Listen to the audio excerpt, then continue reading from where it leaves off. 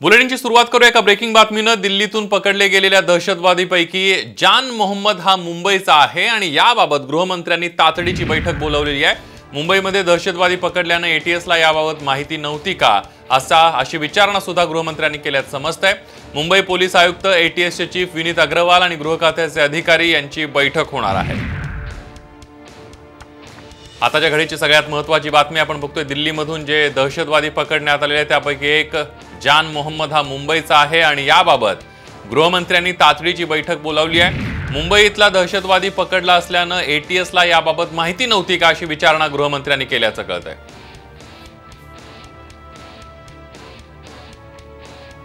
तर आज काय जो आतंकवादी सापडलाय त्याच्या कुटुंबियांची देखील चौकशी सुरू आहे. नेमकी काय माहिती आपण बैठक बोलवली आहे?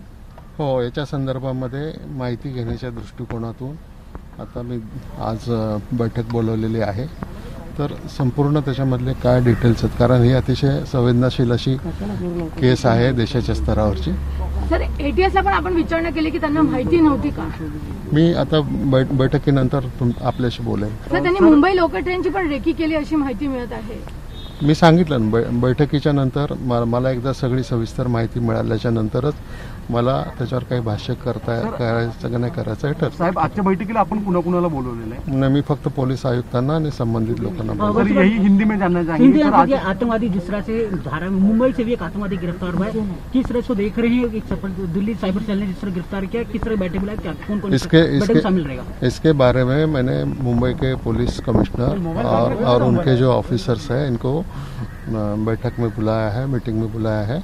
वो सारा ब्रीफिंग मुझे देंगे। उसके बाद अ, सारा डिटेल इस, इसके बारे में मैं जान लूँगा। और उसके बाद अ, मैं अगर पॉसिबल है तो बोलूँगा। पॉसिबल नहीं है तो नहीं बोलूँगा। सर एटीएस को क्या इस बारे में जानकारी? क्योंकि मुंबई जैसे इलाके में अगर आतंकवादी वहाँ से मिलता है क्या एटीएस को कुछ भी जानकारी नहीं थी इस बारे में? वो वो मेरे ब्रीफिंग में क्लियर हो जाएगा सारा। तो ब्रीफिंग ब्रीफिंग के टाइम हम देखते हैं। क्या आपने सर एटीएस चीफ से इस विषय में चर्चा की? एटीएस चीफ भी आज मिलने वाला है मुझे। हाँ। सर लोकल ट्रेन की बात है कि लोकल ट्रेन में उन्होंने रेखी की थी कि जिसमें कि आने वाले समय त्योहार आने वाला है उसमें बड़ा बम धमाका करने वाले थे। बिल्कुल ये मैं मैं मैं, मैं आपको यही बताता हूँ कि जब तक मुझे ऑफिशियली ब्रीफिंग नहीं होता है जब तक इसके बारे में मैं उचित नहीं समझता हूँ। बैठक कितने बजे सर ये? आज होगी।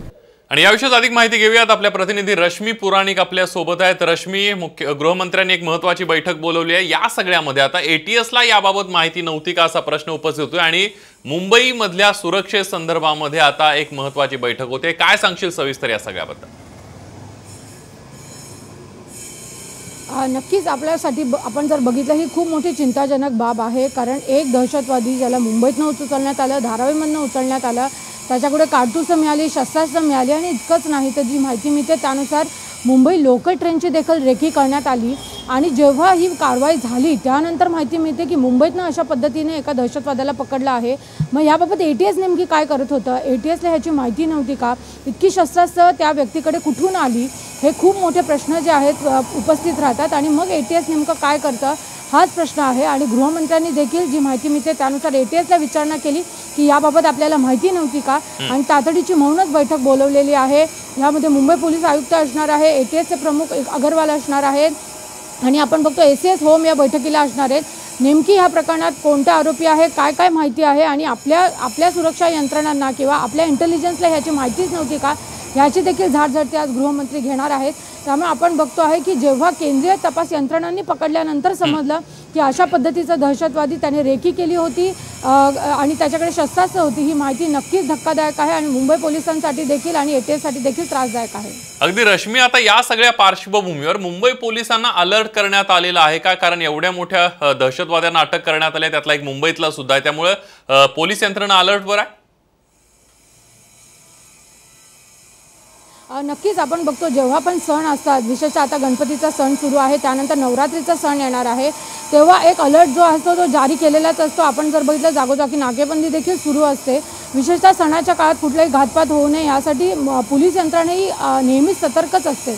परंतु प्रश्न असा आहे की जेव्हा केंद्रीय यंत्रणांनी जेव्हा एखाद्या दहशतवाद्याला पकडलं आणि त्यानंतर माहिती मिळते की तो दहशतवादी मुंबईतच सक्रिय होता आणि त्याने रेकी देखील केली आहे ही नक्कीच मुंबई पोलिसांसाठी देखील गौरवास्पद गोष्ट नाही आहे आणि त्याचमुळे आजच्या बैठकीत ही झाडझडती होईल आणि अजून जास्त यंत्रणा ज्या आहेत त्यांना सक्रिय आता व्हावं लागेल आणि सतर्क राहावं लागेल.